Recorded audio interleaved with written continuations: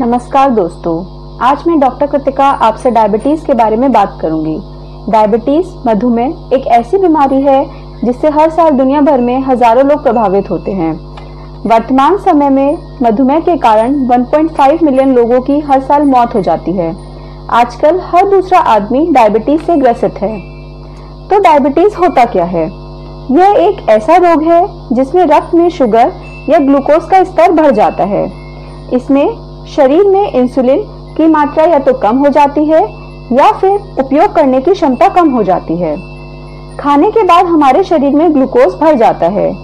Insulin शरीर की कोशिकाओं तक ग्लूकोज को ले जाने में सहायक होता है। तो डायबिटीज़ कितने प्रकार का होता है?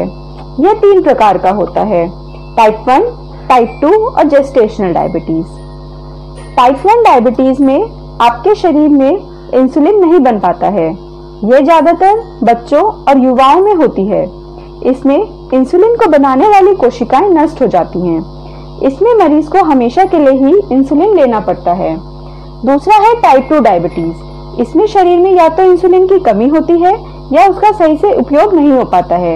यह किसी भी उम्र में हो सकता है, लेकिन ज़्यादातर यह चालीस वर्ष के बाद होता है। यह सबसे आम है। जेस्टेशनल डायबिटीज़ यह कई महिलाओं को गर्भावस्था के दौरान होती है। यह डिलीवरी के बाद ठीक हो जाती है। अब डायबिटीज़ के क्या क्या कारण हो सकते हैं या किन चीज़ों से यह बढ़ सकता है? टाइप वन डायबिटीज़ का कोई सटीक कारण अभी तक पता नहीं चल पाया है, लेकिन कुछ बैक्टीरिया और वायरस इंसुलिन बनाने वाली कोशिकाओं को खत्म कर देते हैं, जिससे शरीर में इंसुलिन की मात्रा कम हो जाती है। टाइप टू डायबिटीज़ में फैमिली हिस्ट्री असंतुलित आहार, अत्यधिक वज़न का रिलेशन देखा गया है।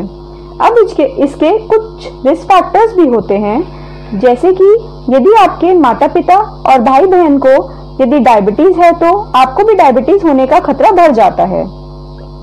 बढ़ा हुआ बीपी मोटापा स्ट्रेस असंतुलित आहार, बढ़ती हुई उम्र सीडेंट्री लाइफस्टाइल भी डायबिटीज़ को बढ़ावा देते हैं। तो डायबिटीज़ के क्या क्या लक्षण हो सकते हैं? चलिए ये जानते हैं।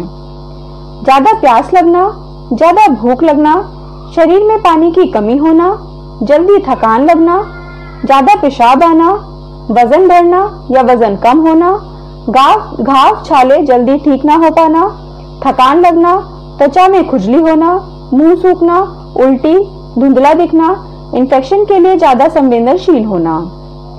अब मधुमेह के लिए आप क्या क्या जांचें करा सकते हैं?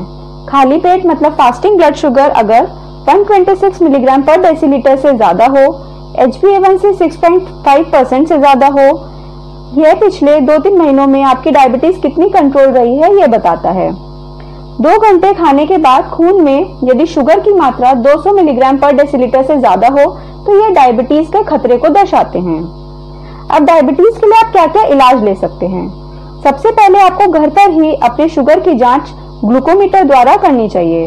टाइप वन डायबिटीज़ में आप इंसुलिन का प्रयोग करते हैं। टाइप टू डायबिटीज़ के लिए आप कुछ दवाइयाँ ले सकते हैं, जैसे metformin glimepiride gliclazide pioglitazone sitagliptin voglibose इत्यादि। लेकिन अगर इन सब दवाइयों से आपको असर नहीं आता है तो आपको इंसुलिन लेना पड़ता है। अब डायबिटीज़ की वजह से कुछ कॉम्प्लिकेशंस भी हो सकते हैं। जैसे कि आँखों की रोशनी जा सकती है स्ट्रोक हो सकता है हार्ट अटैक हो सकता है, गुर्दा खराब हो सकता है, नसों में कमज़ोरी हो सकती है पैर में सुनपन हो सकता है एवं संक्रमण होने का खतरा भी बढ़ जाता है। इसलिए इन सबसे बचाव करने के लिए आपको कुछ बातों का ध्यान रखना होगा एवं अपनी जीवन शैली में कुछ परिवर्तन करने होंगे। जैसे कि संतुलित आहार लें चावल घी आलू ना खाएँ, निरंतर व्यायाम करें पर्याप्त नींद लें धूम्रपान ना करें मोटापा कम करें तनाव से दूर रहें एवं साल में एक बार शरीर की और आँखों की जाँच ज़रूर कराएँ। ब्लड प्रेशर और अपने कोलेस्ट्रॉल को नियंत्रित रखें। डायबिटीज़ में आपको टोटल पाँच मील लेनी चाहिए तो ये लें।